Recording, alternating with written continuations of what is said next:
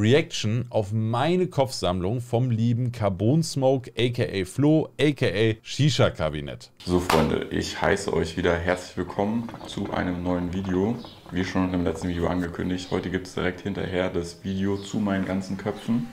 Wir sind ja hier auch Flo, erstmal 50 Hyphens.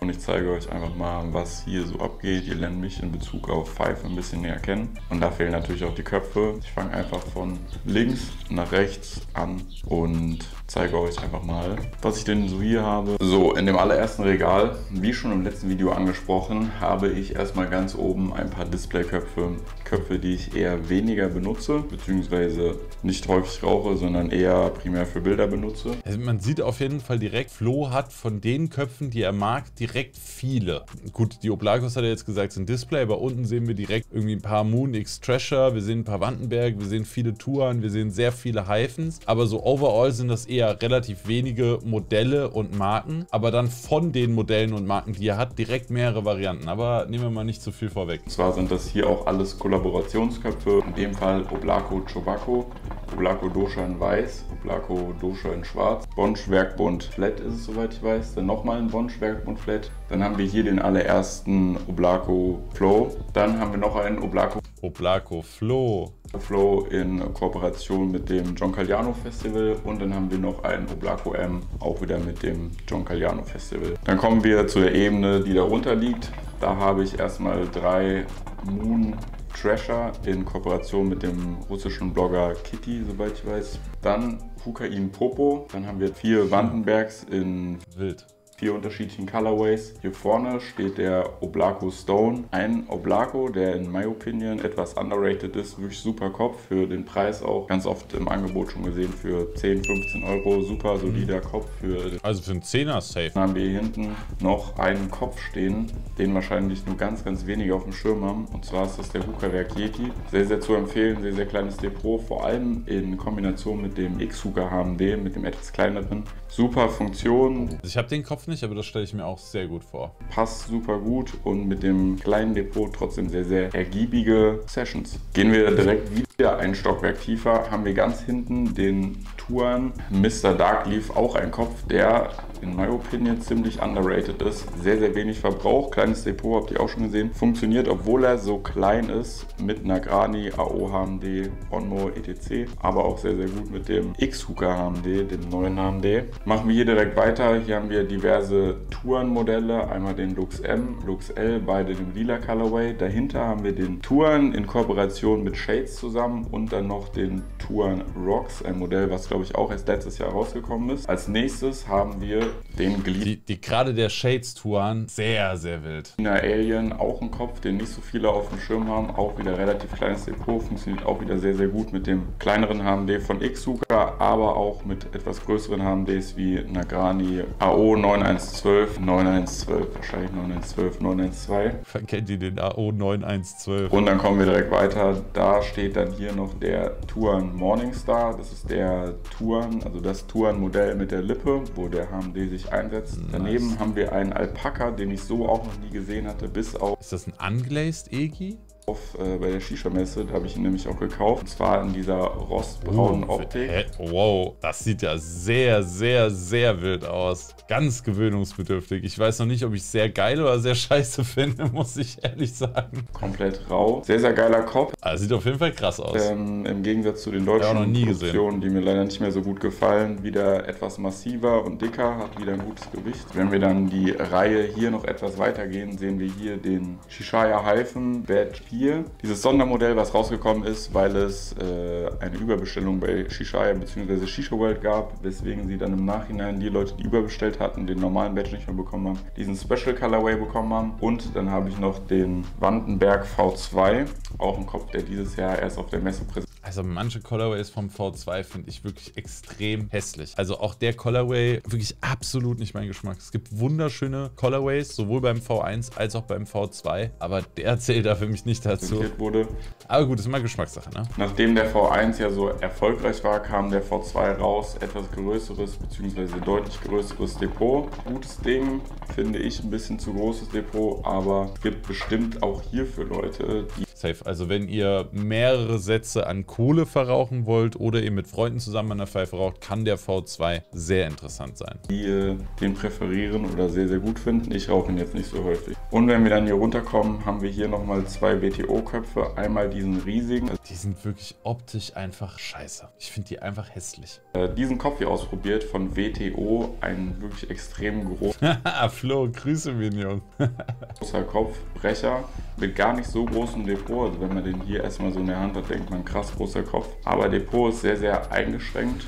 Aber allein die Größe, also ich glaube, ich habe gar nicht den ganz großen. Ich habe den eine Nummer kleiner von dem WTO-Funnel. Aber sogar der sieht bei so vielen Pfeifen schon wirklich so scheiße aus, dass ich den einfach nie rauche. Und kleiner, als man erwarten würde. Aber sehr schönes Detail ist natürlich, dass hier das Funnel doch oben diese kleine goldene Krone hat. Finde ich ganz cool. Bringt natürlich absolut nichts, ne? Also bringt gar nichts, aber sieht cool aus. Und im Vergleich zu dem mittleren Modell, was für HMD ausgelegt wurde, es gibt noch ein ganz kleines, das ist dann für Alu ausgelegt. Im Vergleich gar nicht so groß das Depot. Dennoch auch beide Superköpfe muss man nicht unbedingt haben, bringt wirklich äh, keinen besonders großen Mehrwert mit sich. Außer es ist eine absolute Riesenpfeife und du willst einen Kopf, der dazu passt proportionsmäßig. Dieses Modell hier rauchen mit guten 20 Gramm. Das war es dann schon mit dem ersten Regal und wir gehen direkt weiter. So Freunde, ein bisschen komische Perspektive, aber damit ihr die Köpfe hier oben auch sehen könnt, habe ich mal die Kamera ein bisschen gerade nur so Sie, siehst du mich noch, Kamera? Hallo?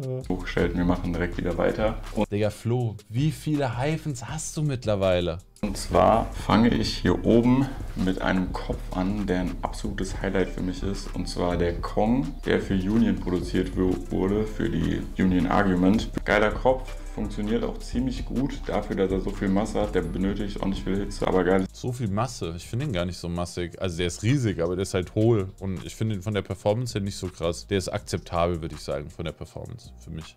Yankee hieß der dann auf jeden Fall. Aber ich würde dem Flo da vertrauen. Und ein etwas kleineres und ähnliches Modell gibt es inzwischen auch von Viro und auch Hukain. Ich habe jetzt hier beispielsweise den Viro. Ähnlicher Aufbau. Ein Kopf, der designt wurde für Travel-Pfeifen, der besonders klein ist. Hier vorne auch mit Imprint von Viro in dem äh, Rio Colorway heißt der, glaube ich. Relativ kleines Depot, lässt sich super aufstecken. Finde ich auch einen cool. Kopf für To Go zu haben. Gerade für kleine Pfeifen ist schon extrem geil. Haben sehr, sehr zu empfehlen. Dann machen wir weiter. Hier ganz hinten ist der Moon Flat, den ich euch auch in meinem Video die besten Köpfe slash HMDs meiner Meinung nach äh, gezeigt habe. Das ist diese Super Flat Variante. Davor habe ich den Xuka V2. Der V1 war mir ein bisschen zu tief. Mit dem V2 wurde das Problem behoben. Ähm, in einem sehr, sehr schönen Colorway, wie ich finde. Fand ich auch besser mit dem flachen Depot. Dann machen wir weiter. Dahinter liegen die diversen Alpakas. Alpaka Huacaya Shallows heißen ja inzwischen. Beziehungsweise das sind inzwischen die Shallows, die mit weniger Verbrauch. Ich habe jetzt hier diesen Colorway. Colorway. Dann habe ich den Vintage, den Black und den ganz weißen dahinter. Wenn wir dann hier weiterkommen, Was hat er geploppt, Flo? habe ich Habe eventuell einen alten, der ist nicht hohl. Ah, okay. Krass. Ja, meiner ist hohl. Dann hast du echt einen alten.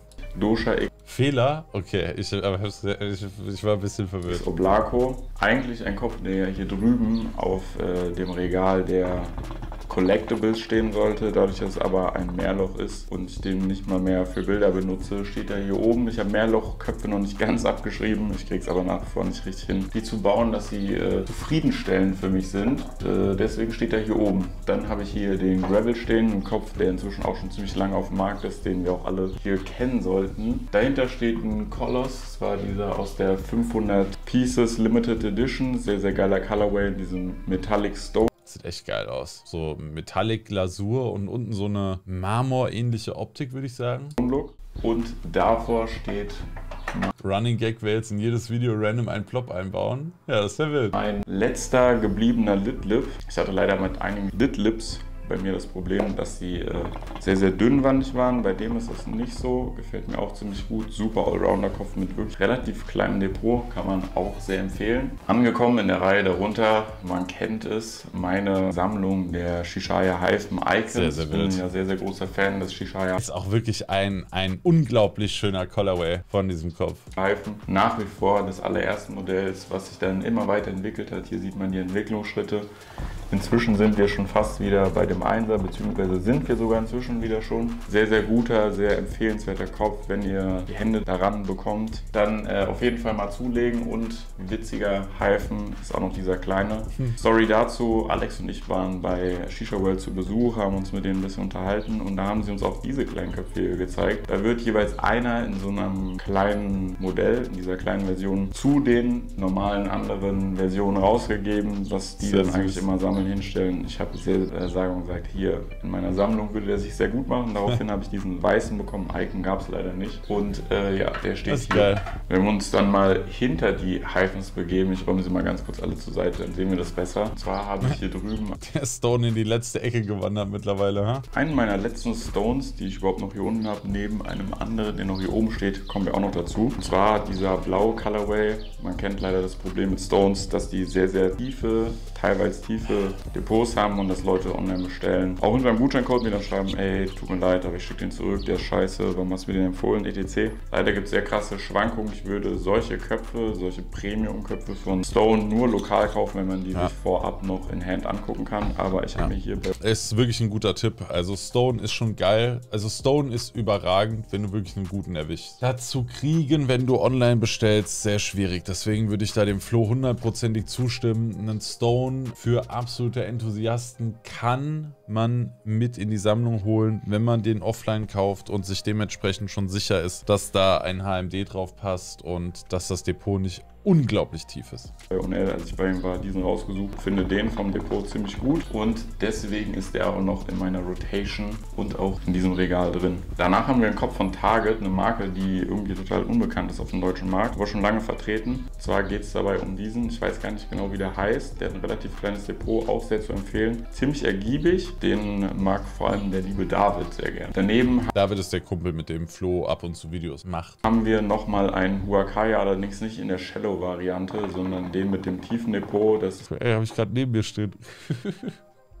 der Konfetti heißt der, glaube ich. Rauche ich nicht so oft. Depots mir da ein bisschen zu tief und auch noch diesen hier. Ich glaube, der heißt Cupcake. Auch nicht in der Shallow-Variante, sondern mit dem tiefen Depot. Dazwischen haben wir noch den Gleaner Harmony stehen. Auch ein Kopf, den ich sehr, sehr häufig in der Vergangenheit geraucht habe. Inzwischen nicht mehr so oft, aber auch sehr, sehr zu empfehlender Kopf und beim Preispunkt von im Angebot 15 Euro super zu empfehlen. Als letztes. Ja, also 15 Euro ist das ein sehr solider Kopf. Würde ich aber heutzutage auch nicht mehr empfehlen, weil schon ein bisschen Tabak rein muss. Von der Performance her aber hervorragend. Letztes haben wir in der Reihe den MIT, also türkische türkische Marke MIT, so heißt die. MIG aus Türkei.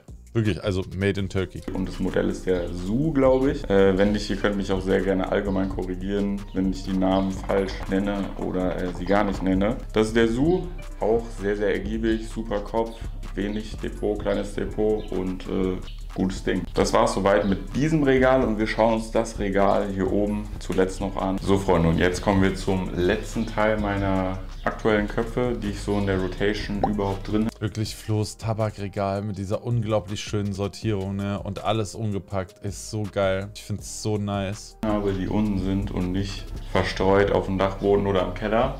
Und zwar kommen wir da zu Köpfen, die... Ich mache Auge auf die Kelloggs, auf die Reese's Puffs. Ich in der Regel eigentlich nie benutze, die ich aber eventuell hin und wieder mal ausprobiere, Setups ausprobiere, die Freunde gerne hier benutzen und deswegen noch hier sind oder auch... Das Blocken ist jetzt schon legendär. War das schon wieder eins? Jetzt habe ich es nicht ja, mal ausprobiere, Setups ausprobiere, die Freunde gerne hier benutzen und deswegen noch hier sind oder auch die Lea sehr, sehr gerne benutzen. Flo, was hast du gemacht? Warum sind da einfach Plops drin? Geil. Das ist jetzt einfach ein Ratespiel. Das ist wie, wie die äh, Gimmicks bei kein Konzept, wo er immer die Streamer verarscht, die drauf reagieren. Gibt es jetzt bei dir das Plop-Game? Bis jetzt hatten wir zwei im Video, glaube ich zumindest. Lea sehr, sehr gerne benutzt, wie unter anderem die Oblakos, die hier stehen. Wenn wir mal hier hinten anfangen, habe ich hier einen Kopf, dessen Namen ich gar nicht kenne, der in Kollaboration ja, mit Space. Auch ein sehr, sehr schöner Kopf. Smoke damals äh, rausgekommen ist. Guter Kopf, mir ein bisschen zu großes Depot, aber manchmal, wenn man sich den Kopf teilt, nicht schlecht. Dann, wie schon angesprochen, haben wir hier drei Oblako stehen. Einmal wieder ein Dosh Oblako, den habe ich in meinem Paket noch dazu bekommen, deswegen steht der auch noch hier. Diese hier, die rauche ich in der Regel nicht wirklich, sondern sind einfach nur Ausstellungsstücke, beziehungsweise benutze ich für Bilder. Ich will die nicht rauchen, sondern lege einfach immer nur HMD drauf äh, für die Optik. Von XXX Lutz sind die. Damit sie erst gar nicht anfangen zu bluten. Wie gesagt, Lush Oblaco, äh, Oblaco Mono, mein allererster Oblaco, den ich jemals hatte und äh, der nach wie vor wirklich super funktioniert. Der sieht auch schon sehr gut geraucht aus. Der blutet auch immer noch einige Köpfe gesehen hat. Dahinter dann noch ein Somo Oblaco in lila. Dann haben wir hier einen Kopf, den ich früher auch sehr gehypt habe, den äh, Solaris Funnel. Allerdings für mich ein bisschen zu tiefes Depot, deswegen... Äh, Echt? Sein Solaris Funnel so tief? Meiner ist, glaube ich, gar nicht so tief. Meiner geht, glaube ich, klar. Nicht so häufig benutzt. Dahinter haben wir den Oblaco Stone in der Mehrloch-Variante. Dann kommen wir zu dem angesprochenen Stone-Thema. Hier hinten haben wir einen Stone, den ich auch früher sehr häufig und oft geraucht habe, aber irgendwie ein bisschen Lust daran verloren habe. Inzwischen Depot mir ein bisschen zu tief und ich benötige einfach keine Köpfe für Sessions mit eineinhalb oder auch zwei Stunden, weswegen der eher weniger benutzt wird. Dann haben wir hier vorne einen Kopf Sense Köpfe. Sense äh, bin ich auf den Trichter gekommen wegen Hendrik. Ich habe den bei bei ihm geraucht. Ich muss sagen, Sense habe ich auch ein paar Köpfe von, bin ich nicht überzeugt. Sind nicht übel, aber sind auch nicht krass. So Mittelmaß, würde ich sagen. Ich finde die Standard. War sehr, sehr gut. Ich dachte, ja, vielleicht schafft das bei mir auch. Er hat es einmal geschafft. Und seitdem steht er auch hier oben. Ja, wenn wir dann hier weiter rüber gehen, habe ich zwei Mehrlochköpfe. Einmal den Pot von Hukain. Wie gesagt, irgendwie bin ich noch nicht so ganz warm geworden mit Mehrloch. Hier neben nochmal Mehrloch, gleiches Thema. Dahinter stehen zwei Masons. Einmal den Deutschland Mason, der vor... Einer der hässlichsten Köpfe, die jemals gemacht wurden. No front an die deutsche Flagge, aber das sieht aus, als hättest du irgendwie einen, einen Kopf in den Kindergarten gestellt und hättest gesagt, komm, mal mal an, Chantal. Zwei Jahren oder so rausgekommen ist, rauche ich auch nicht, aber sind einfach schöne Ausstellungsstücke. Deswegen der hier steht. Daneben steht nochmal ein Mason in diesem äh, Diesel Colorway ist es, glaube ich. Dahinter habe ich den Sunray, den raucht auch Lea sehr, sehr gerne, hat nicht so ein ganz großes Depot, lässt sich super cool bauen, aus. super Hitzeeigenschaften, aber irgendwie optisch nicht so ganz mein Fall, die Farben. Deswegen der auch nicht so häufig benutzt wird. Und äh, hier einen Shishaya Hyphen aus Batch 5 tatsächlich, den der äh, gute David sehr gerne raucht. Ich aber irgendwie nicht so, weil ich dann lieber zu dem Icon, zu dem hellen Blau greife. Der war es trotzdem noch hier ins Esszimmer bzw. Arbeitszimmer geschafft hat. Und der allerletzte Kopf ist ein Touren, nicht der Touren. Ich kenne das Modell tatsächlich auch wieder hier nicht. Ich habe den mal vom Dachboden runtergeholt, um den mit dem X-Hook AMD zu testen, auszuprobieren, wie er läuft. Bin allerdings noch nicht dazu gekommen. Deswegen wartet der hier auch noch äh, vergeblich auf seinen Einsatz. Und damit sind wir jetzt auch tatsächlich alle Köpfe durchgegangen. Sehr wild und sehr, sehr coole Kopfsammlung.